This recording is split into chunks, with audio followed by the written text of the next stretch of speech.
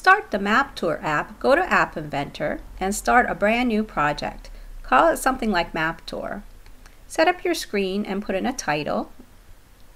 Then come down here and find the Maps drawer and pull out a map component. This is a new component built on OpenStreetMaps and it's very interactive. Let's make the width fill parent and the height around 50% of the screen. Notice this map is centered at MIT. It gets this from the latitude and longitude in this property, center from string. You can put in any latitude and longitude here and the map will go to that location. One website that can help you with this is one called latlong.net.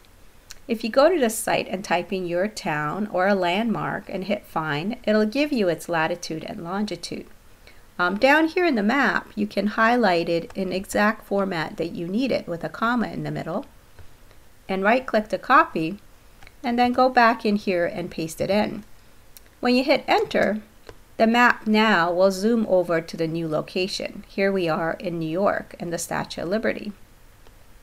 Let's add a marker. So the marker marks a certain location on the map.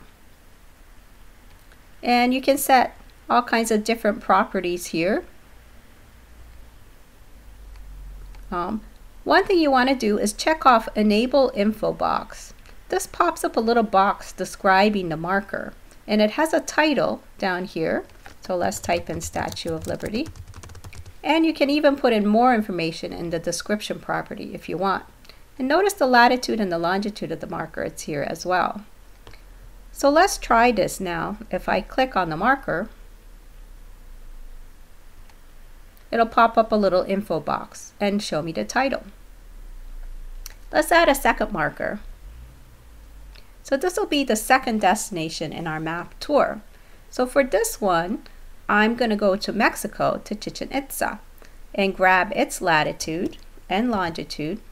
Here's its latitude, and I'm going to stick that in the marker's latitude property. And then go back and grab the longitude keep these tabs open because we're going to need these latitudes and longitudes later on in the code as well. And here's the longitude. When I hit enter, the marker disappears because it's zoomed over to Mexico.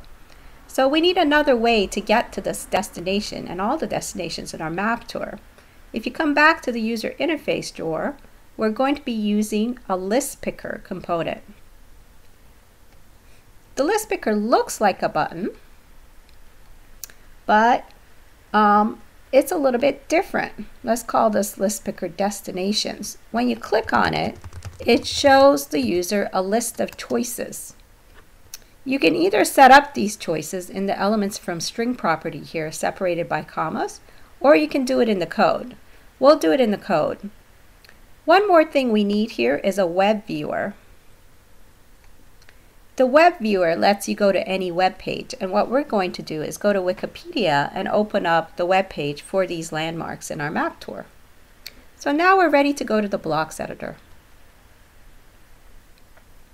So first thing we need to do is when they click on the destinations list picker button, it should show the list of destinations in our map tour um, and so the user can pick one. So to do this, we have to, we have to set up a data structure called a list. There is a list drawer here where you can create an empty list or you can make a list. We're going to make a list of all of our destinations. If you hit the blue mutator button, you can put in as many items in your list as you want. Um, I would suggest at least three destinations in your tour. I'm going to leave it at two for the interest of time here. Notice that this plugs into something. What it needs to plug into is a variable. So let's grab a variable and let's call it destinations. We've used variables before as a simple um, data abstraction, but here's a slightly more complex one. Instead of the variable being just a single value, we have a list of values. It's a stronger data abstraction. So in our list, we want to put the, the destinations in our tour, Statue of Liberty and Chichen Itza. There we go.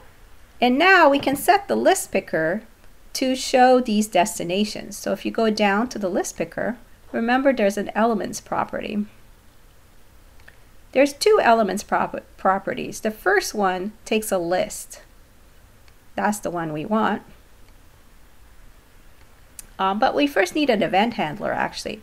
So if you scroll back up, the list picker is a lot slightly different from the button. It has two different event handlers here to use before picking and after picking. So usually in the before picking, what you do is set up your list. So let's do that. So we want to set up the elements to, and we can just give it our destinations list. Let's try it and see what happens. So now when I click on the list picker, it shows the two destinations that it got from this list. When I pick one of these, it'll call the after picking event handler, but because it's empty right now, nothing happens. So what do we want to happen? Well, when they pick a destination from the list, we want the map to be centered to that location. So we want to move to that location. Um, but remember the map works with latitudes and longitudes. So really we need another list that has latitudes and longitudes. So right click to duplicate this one and let's call our second list destinations lat long. So this one's going to be a parallel list to the first. That means the first item here, Statue of Liberty, will match with the first latitude and longitude in the second list. And the second item up here will match with the second latitude and longitude, and so on. So you got to make sure you keep them in order so everything works right. They need to be parallel. Lists are indexed, so they're numbered. Um, the index means it's number. So this is item number one, and this is item number two. They're numbered starting from one. So go back to those tabs with lat long and grab those latitude and longitudes again. And this one is for Statue of Liberty. And this one is for Chichen Itza. Make sure you grab it without the um, parentheses.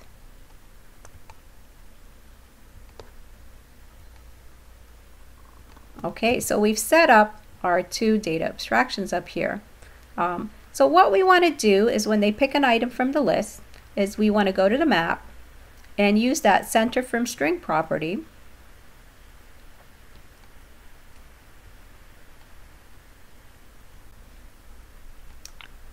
and then pick the right list element here um, to go to that that item on the list. Okay, so how do we know what the user picks? Remember, they're going to pick either Statue of Liberty or Chichen Itza. Well, if you go back to the list picker, there are two selection properties.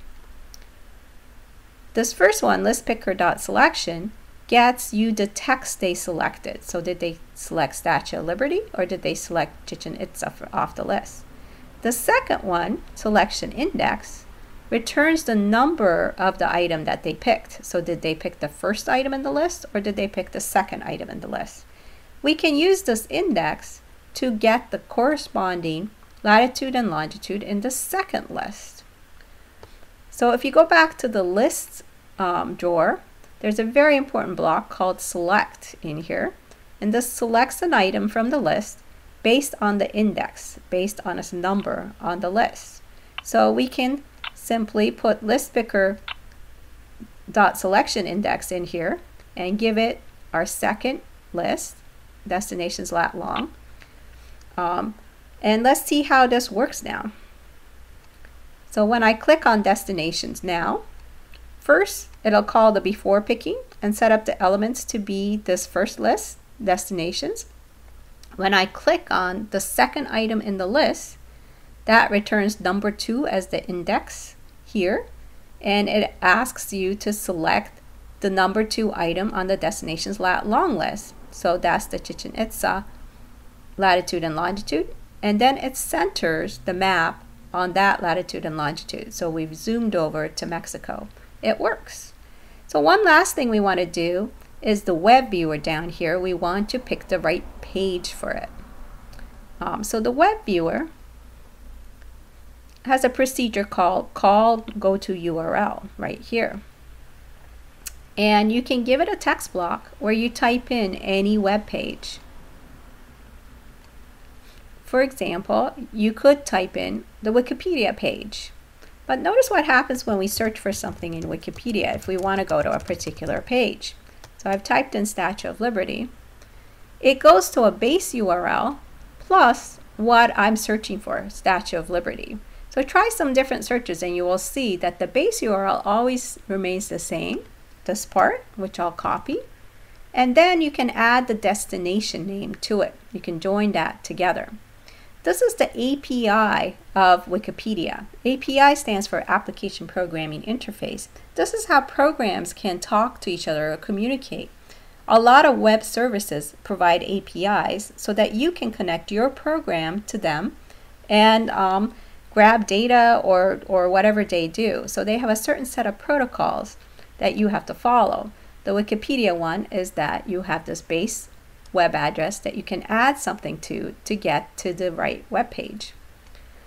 So we want to put the, the base URL into this text block, but we want to join that together. So grab a join block with the destination that the user picks um, from the first list here. Um, so if they pick Statue of Liberty, it will go to the Statue of Liberty page. But notice also what happens is that even though I, I search for Statue of Liberty without any with spaces in here, it put in underscores in here. Um, now the web viewers usually, and most browsers and web viewers are smart enough to just translate this and Wikipedia will figure it out. But on some devices you might find that you actually have to replace the spaces with underscores. So let's do that too, but try this first because this might work in your device. But if you need to replace it, there is a replace block under text. And you can add some text blocks to it where you're, you're replacing any spaces with underscores. So the selection, before we feed it in here, we want to replace any spaces. And remember this is an empty string, so you actually do have to put your cursor in and type in a space. Any spaces with underscores. And that should work. Let's try it.